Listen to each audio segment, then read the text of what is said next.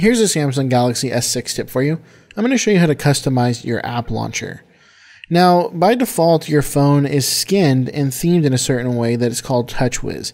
This is what Samsung has made to show your apps, to show your home screen, to show the app drawer, and we're going to go ahead and change that.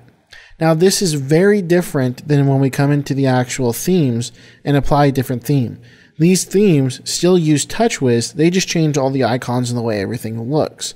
Now, what we're going to do is actually change the way that the actual launcher functions. So what I've done is I've gone to the Google Play Store and I've downloaded this Action Launcher 3. What I'm going to do is tap open and it's going to open up the launcher and take me through some of the setup.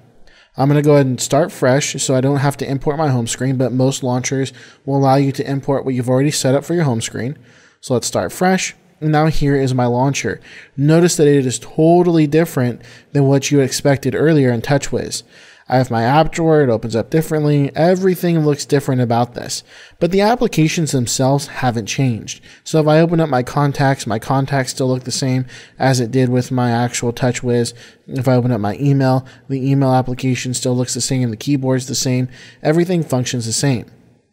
But now notice when I hit that home button, this brought me back to TouchWiz. So if I actually wanted Action Launcher to be my default launcher, what I want to do is open up the settings. Come into the settings, we're going to come into our device tab, tap applications, and touch default apps.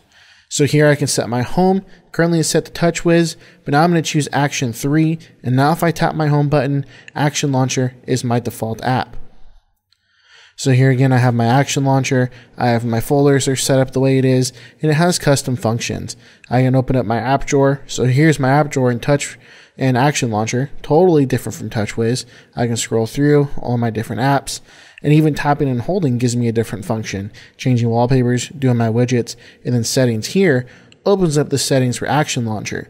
So there is a bunch, a world of new ideas and themes and options that you can do by changing the launcher. And maybe I'm tired of TouchWiz now. Maybe I'm tired and I wanted to use this action launcher.